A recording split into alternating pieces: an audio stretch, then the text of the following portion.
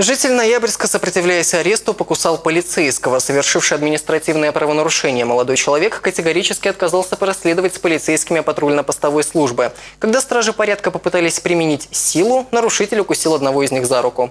К слову, это далеко не единственный случай нападения на блюстителей правопорядка. Не далее, как на прошлой неделе, житель Ноябрьска и вовсе пустил в ход кулаки.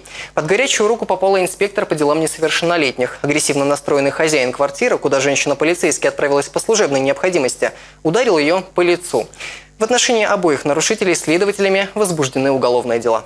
Оба преступления были совершены в состоянии алкогольного опьянения и э, к моменту возбуждения уголовного дела и проведения э, следственных действий с э, уже обвиняемыми они оба раскаялись и готовы принести свои искренние извинения пострадавшим сотрудникам полиции. Однако уже поздно, дело возбуждено, и они понесут заслуженное наказание.